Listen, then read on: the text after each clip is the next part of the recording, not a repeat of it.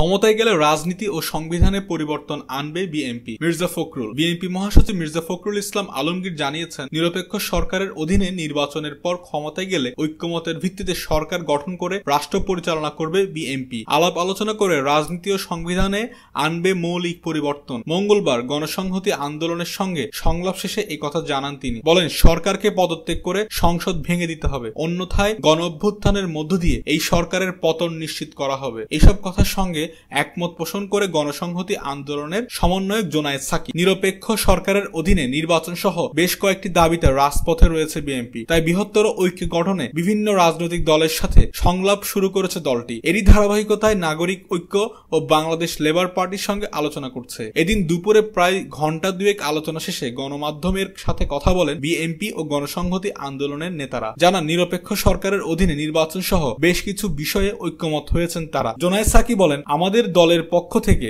আমরা স্পষ্ট মনে করি, বর্তমান সরকারের পতনের জন্য আন্দোলন দরকার। এভাবে যদি একটি জাতীয় রূপরেখা বিরোধী রাজনৈতিক দলগুলোর পক্ষ থেকে হাজির হয়, তাহলে মানুষ নতুন করে আন্দোলিত হবে। আমরা বৃহত্তর ঐক্য গড়ে তুলে সরকারকে পদত্যাগ করতে বাধ্য করব। সেজন্য আমরা প্রাথমিকভাবে ঐক্যমত হয়েছি। যুগপথ ধারায় এই আন্দোলন আমাদেরকে যার যার অবস্থান থেকে পরিচালনা করতে হবে, এই সরকারকে পদত্যাগ করতে হবে এবং সংসদ বাতিল করতে হবে। এসব বিষয়ে দুই দল একমত হয়েছে বলে জানান মির্জা ফখরুল ইসলাম আলমগীর বলেন বলেন, আমাদের পক্ষ থেকে বলা হয়েছে, সংসদ বাতিল করে নির্বাচনকালীন সরকার গঠন করতে হবে। তাদের অধীনে যে নির্বাচন কমিশন গঠন হবে, সেটির অধীনে নির্বাচন হবে। সেই নির্বাচনের মাধ্যমে ভবিষ্যতে সরকার ও সংসদ গঠিত হবে। আলোচনায় গণসংহতির আন্দোলনের পক্ষ থেকে সাংবিধানিক কাঠামো বদল, প্রধানমন্ত্রীর ক্ষমতায় ভারসাম্য রক্ষা সহ সাত দফা প্রস্তাবনা তুলে ধরা হয়। বিএনপি মহাসচিব জানান, সবার সঙ্গে আলোচনা করে রাজনীতিতে আনা হবে মৌলিক পরিবর্তন। ঐক্যমতের ভিত্তিতে রাষ্ট্র পরিচালনা করা হবে।